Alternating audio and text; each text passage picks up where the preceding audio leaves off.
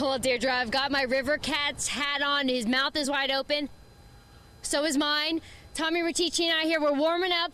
We're ready to go in. We're going to dive. Now, Tommy here is a starving college student, so all of this probably looks really good to him. But, Tommy, tell me, what are you going to go for? Uh, I'm gonna go with the tri tip. Tri tip? That's mine. All right, give me the. I'll take the dinger dog then. The Dinger Dog. With me is executive chef here, Ryan Curry. What do you think? Do you think the Dinger Dog is a good bet for Tommy here? Go for it, Tommy. Let's see Yeah, go it's, in. it's spicy with the beer that he had uh, earlier. It'll be a great combo. Now, you've got a lot of new things coming out, including this meatball sandwich, right? That's new. Lots of new innovative stuff. I'm going to take a bite of it while you tell me all the new things, food wise, we've got going on. Well, we have lots of things. In stand D, the straw hat stand, we have this garlic meatball sandwich. me. Oh, no problem.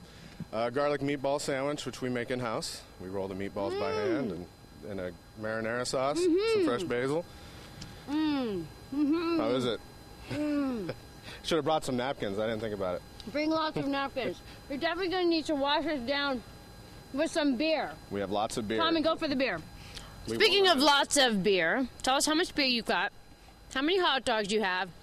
Hit me with the numbers. All right, we got uh, we have about 150 kegs of beer.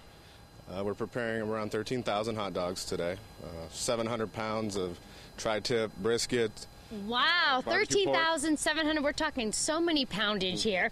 Now, speaking of the tri tip and the brisket, tell me what goes into preparing that because I know that you're doing everything all fresh this Mm-hmm. year and you've got some secrets going on. Yeah, we do a lot of brining, a lot of in-house brining. Um, you know, it's a great way to infuse flavor, and it keeps it moist when it's on that smoker for a couple hours.